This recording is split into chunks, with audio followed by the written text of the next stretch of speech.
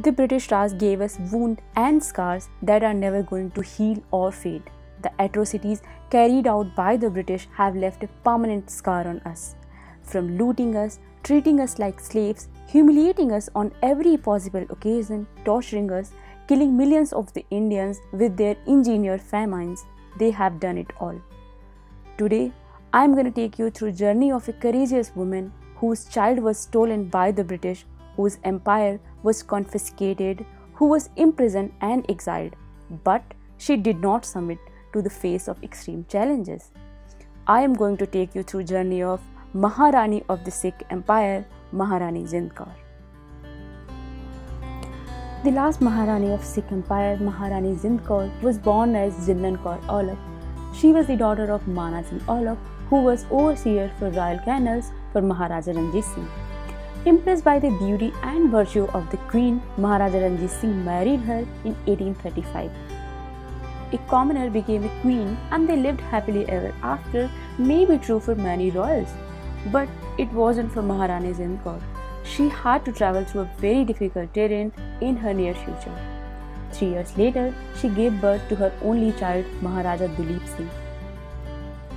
After the death of Maharaja Ranjit Singh and assassination of his first three successors, Maharaja Duleep Singh came to power in September 1843 at the age of five, and Maharani Kaur became regent on her son's behalf. Young Maharani was faced with many problems. Her brother Maharaja Duleep Singh, Peshawar Singh Kanwar, was seeking to replace him as Maharaja.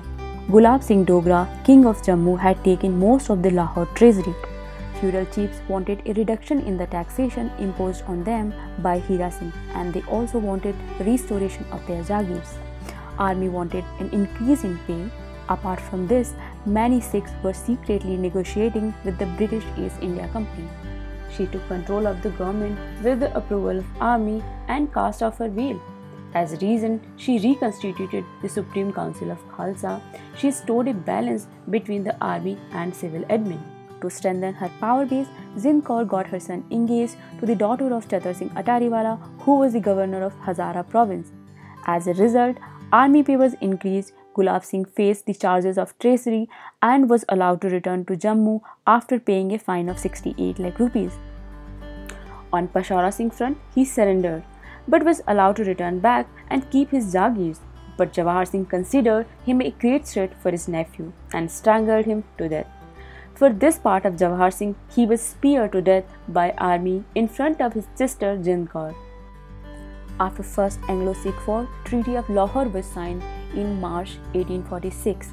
As a result of this treaty, seven-year-old Duleep Singh remained as Maharaja and Jind Kaur was to remain as regent. However, in December 1846, she was replaced by a Council of Regency which was controlled by a British resident.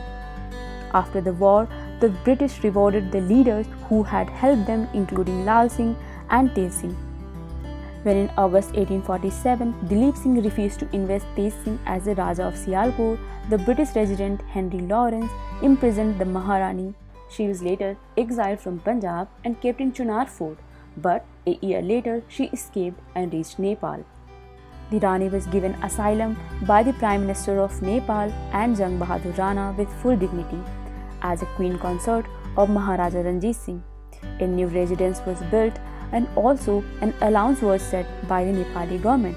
After the close of Second Anglo-Sikh War and the subsequent annexation of Punjab on 29 March 1849, Maharaja Duleep Singh was deposed at the age of 10 and was put into the care of Dr. John Login and sent from Lahore to Fatehgarh.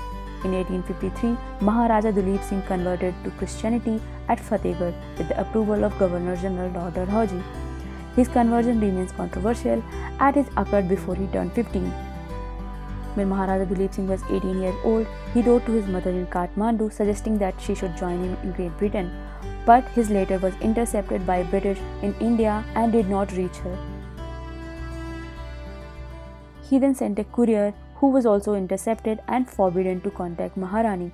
Duleep Singh then decided to go himself. The British decided she was no longer a threat and she was allowed to join her son on January 1861 at Spencer's Hotel in Calcutta and return with him to England. When she reached to England, several attempts were made to arrange a separate establishment for her on the estate, but she was determined not to be separated from her son.